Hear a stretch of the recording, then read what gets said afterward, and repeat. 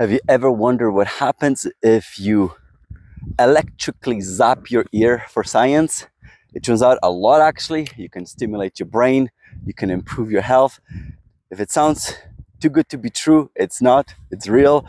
Today we're going to be talking about stimulating your vagus nerve via the auricular branch. So that's the one that innervates your ear and how incredibly safe it is. The reason why we're doing this is because, first of all, this video is sponsored by a company that creates devices that can stimulate your vagus nerve via the auricular branch. So the one that innervates your ear and there are approved for medical use in Europe. So they've clearly been tested for safety. And safety component is one area that has been of great interest to me. And by the way, if you're interested in this device, check out link in the video description for a discount. So we'll see if by the end of this video you'll be persuaded or not. And safety has been interested to, of great interest to me. I've already did one video in the past when I looked at the, all the different studies related to depression and how depression could be treated via stimulating the vagus nerve. And let me show you the, the scenery a bit. And the company sent me this article, which the article is basically on what's the most effective way and safest way of stimulating your vagus nerve. It's a very short article, so check it out. It's a very fun read. But I decided to study the scientific references that were used in support of their claims and that resulted in creation of these mini series so the first video i did on uh, in this mini series was about comparison of using devices in in comparison to natural methods so check that out. Second video was about why activation of vagus nerve via neck might lead to unwanted side effects so there's a new emerging science on that so check that out as well Last video in the series was on how vagus nerve is involved in the process of aging. And right now we're going to be talking about the safety specifically of activating a vagus nerve via that auricular branch and via skin. The reason why is because this is the method that is becoming massively popular precisely because of the safety record and ease of use for, for the users and and this is the first meta-analysis of its kind. So what do I mean by that? Meta-analysis are the best type of studies we can possibly have in terms of support. That's where you look at all of the studies published in the past and you combine them together. And this was the first one of its kind looking specifically at that transcutaneous auricular vagus nerve activation or neuromodulation. This is where we're talking about transcutaneous means activation via skin by putting electric current via skin and auricular. Of course we're talking about activation of the part of your vagus nerve that uh, innervates your ear. The e the one that is really taking over the world by storm just because of how easy it is and how safe it is. And you'll see right away why why i'm saying this this. So these guys i believe this was published maybe in 2022 and they've the authors found 177 studies that could be included in this which is great encompassing over 6300 individuals. Again great because this is a large number. We do want this number to be high. Ideally i would love that number to be at least 10 times higher. The higher that number is the the the greater the certainty of accuracy of the information. So this is why we want that number to be higher. But this is definitely great start and another great thing is that of these 177 studies, about 55 of these were randomized clinical trials, which are the highest form of causality that can be used in medicine. So that's wonderful as well. And they only focused these authors for adverse events via vagus nerve stimulation by the method I'm talking about.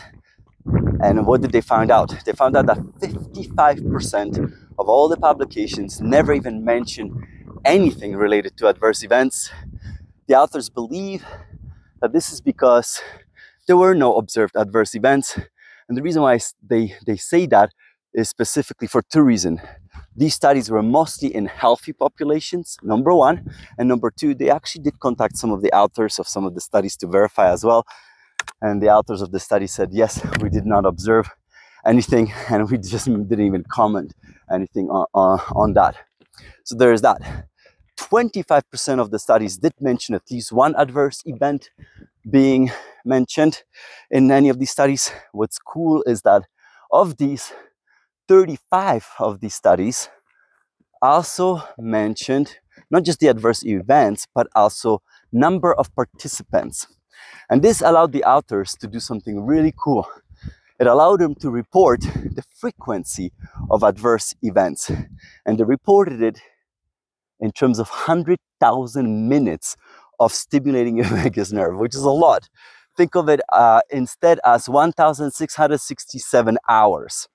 And what they found is that if you stimulate your vagus nerve for 1,667 hours, there are approximately 12.8 adverse events recorded.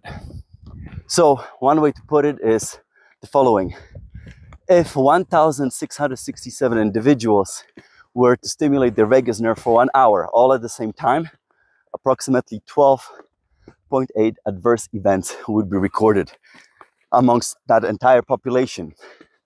Another way to put it is the following. If you're one individual and you have a device like the, like the one I'm discussing today, then if you were to stimulate your vagus nerve for 1,667 hours, one hour per day, that's four and a half years of use, and that would result in 12.8 adverse events. Now, what are the most three common adverse events? they mention, I hope I remember this right, but it was something like 7.1 times out of 100,000 minutes of use was headache. Oh, sorry, no, sore ear. So the great news is that basically the most common adverse events are localized. So your ear was sore. And then the other two at about 7 and 6.9 times out of 100,000 minutes I think it was headache and uh, tingling uh, sensation. So uh, great headache and tingling sensation basically sounds like your Monday morning, but with science. So good way to go. The take home message is that activating your vagus nerve via the auricular branch, so the branch that goes innervates your ears, ear, and specifically the device I'm talking about stimulates your vagus nerve the tragus, which is this lip right there in your ear. And and yeah, we're talking about simply localized events. But it's the next thing that these guys did that was really cool. And they wanted to focus on what are the severe adverse events. And they took all of these studies uh, they saw, they looked at what adverse events were ever mentioned, and they used these international criteria for scoring severe adverse events. It can be, there's a grade that can be assigned, and they looked for grade three to five. Grade three are severe adverse events that are non life threatening.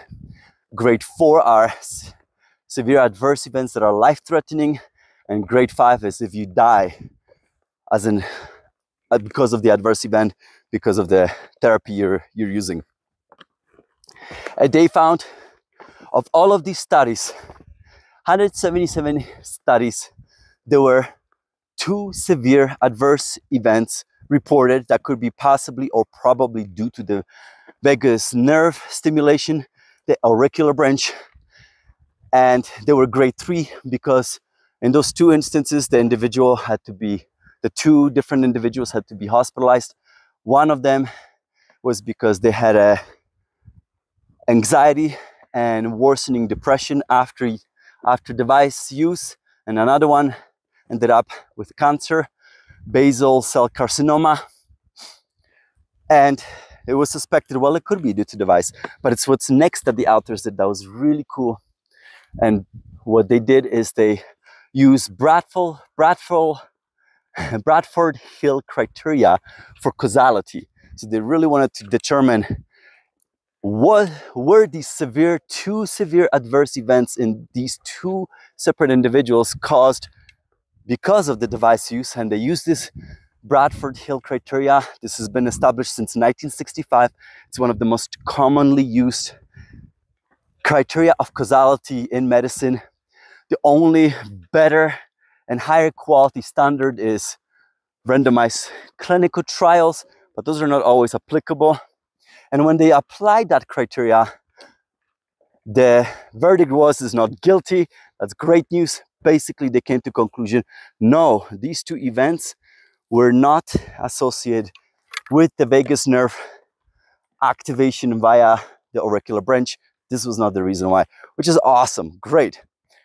But that's on top of that, what's really cool is that in no way ever has in all these studies have ever cardiac severe adverse events been reported ever. And the reason why this is really good news, because remember, I was telling you in a previous one of the previous episodes about the problems of activating your vagus nerve via neck because you can activate cardiac vagus nerve fibers amongst others and that can lead to some severe and very dangerous side effects. And what's interesting is that in these studies, approximately 80% of all these studies focus on the left left ear.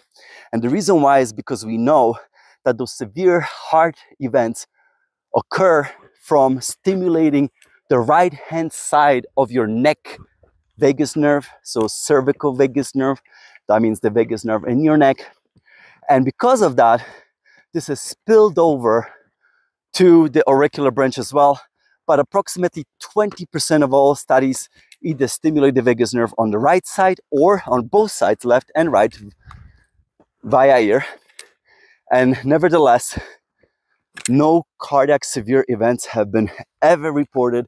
And the authors conclude that technically it's totally safe for your heart to stimulate your vagus nerve via the auricular branch. And the reason why is because, and the reason why this is such an attractive method right now in medicine and why it's winning over for investigation in general is precisely because you don't induce those severe adverse events, especially ones related to your heart. And the other ones you avoid is activating vagus nerve, nerves that innervate your throat and activate muscles in your throat so you also avoid those side effects. And the reason why I was so interested in this is because I also collect my own testimonials from people. And here's a graph you can see the reported benefits based on people talking to me, letting me know when they use this device that I'm promoting, how did it help them? That's what you see in pink. And in blue, how did it not help them? And there is one area where you could see chest pain. And that's the reason why I would have been very specifically interested in wanting to find more information about the safety, especially when it relates to heart. One of those individuals, for example, told me they've been experiencing chest pain even before they ever used vagus nerve neuromodulation device. But they, these side effects have been reported so I graph them for you as well.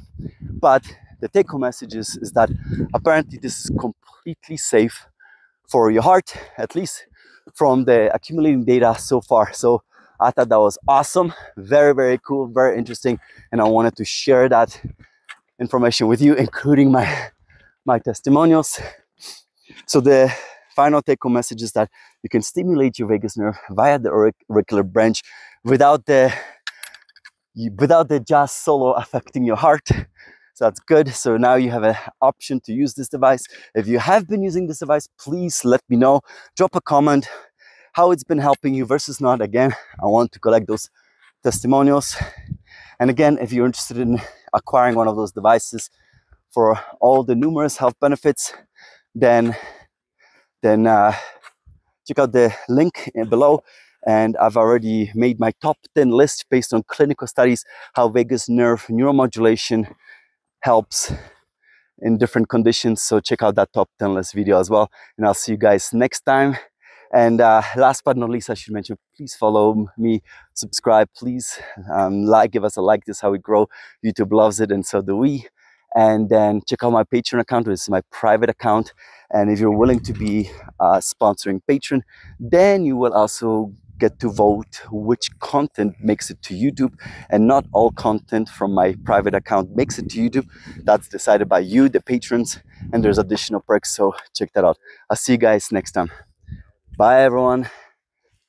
One more look where we are, and we'll see you guys next time. We gotta get down off this mountain.